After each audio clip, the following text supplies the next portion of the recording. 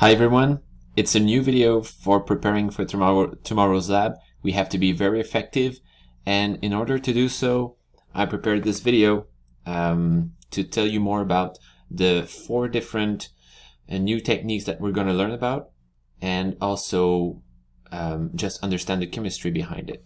So here, here's the thing.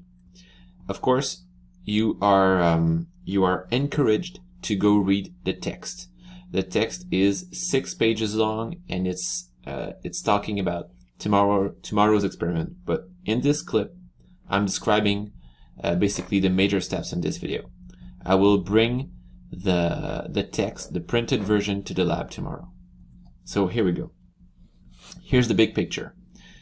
In this part of the drawing here, we have three different substances with three different structural formula, of course, and they all have different properties, but still, they still have enough in common to be soluble.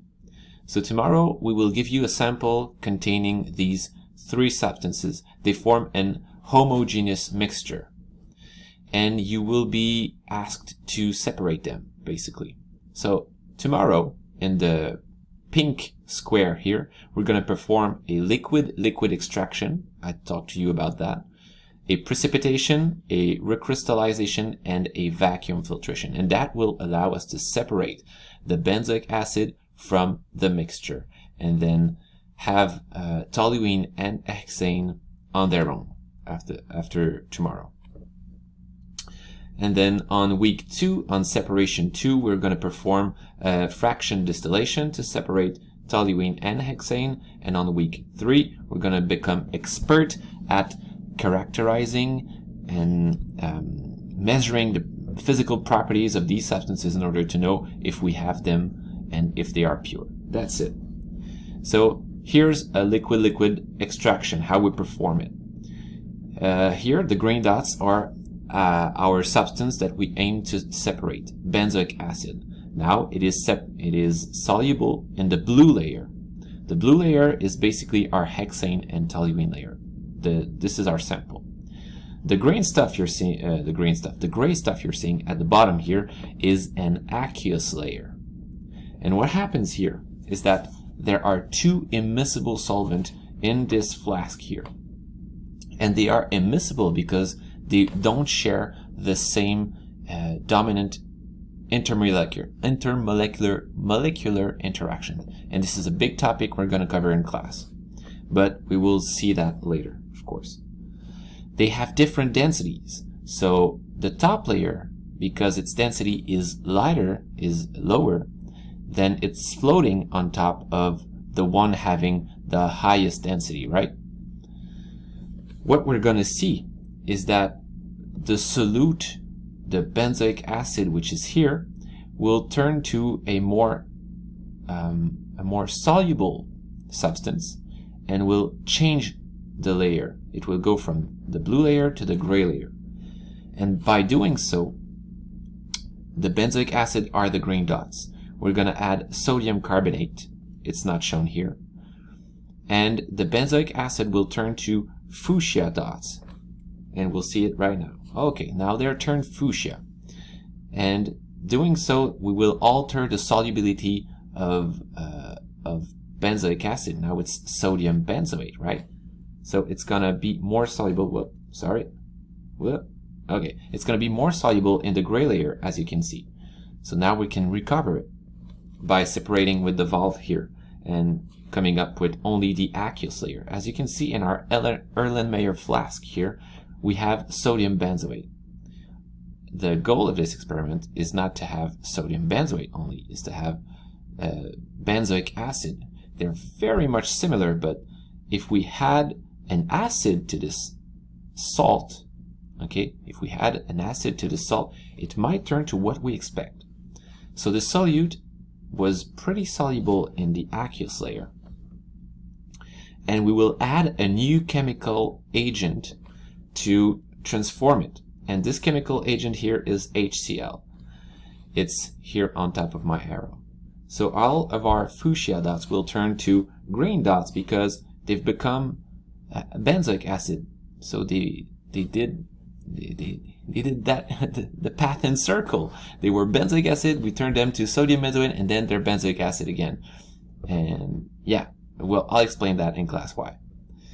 The chemical reaction alters the solubility of the solute, and then the solute will start to crash into some kind of powder, a solid. And this solid is basically unpure. After that, we need to have only um, only the solid. So we need to purify the solid in some kind of way. We need to separate it from its aqueous layer. So we're going to perform a vacuum filtration. As you can see here, the Erlenmeyer flask will be linked to a vacuum pump. And this vacuum pump will suck the air and will allow the, the liquid to pass through, but our crystals, our very tiny crystals, our precipitate, will stay on the, uh, on the glass here on top. It's a porous glass. So we separate a solid, the green dots, from a liquid by doing so. But still, the green dots and the benzoic acid are unpure. So what we want to do here, let's see a, a recap of this. What we want to do is to make these uh, this benzoic acid more pure. So we have an example here. I um I got confused with the color. I'm sorry. At this point in the video, uh, I have to say uh, the fuchsia dots that you can see here are supposed to be green, all green. Okay, but I placed uh, blue dots here. The blue dots they are impurities, and by uh, performing recrystallization, we will separate the impurities from the benzoic acid, the one we want to recover, because we will choose a solvent which is a very bad solvent for our benzoic acid. But it turns out that by boiling this solvent, benzoic, benzoic acid will some kind of get soluble in it. But that, but that it will cool down. You will see benzoic acid trying to accumulate in little chunks and these chunks with a lot of order in them, where benzoic acid molecules, they, they interact very closely with one another, are called crystals. And as you can see, the impurities are left outside of these crystals. And this, this, um, these big chunks, now they are pure benzoic acid. And this is beautiful, and this is chemistry, and you're going to perform that tomorrow, chicos. So because tomorrow is very important that we are prepared, I'm asking you to watch this video. Of course, if you haven't watched it, you cannot hear me saying that. Uh, read your text as as as um, as good as you can because you want to know where are the where are the uh, the main um, where are the the main parts in your protocols like the instructions you have to follow. You you want to be not familiar, but you want to to know where to find the information. Yeah, that's it. You want to know where to find the info. That's why.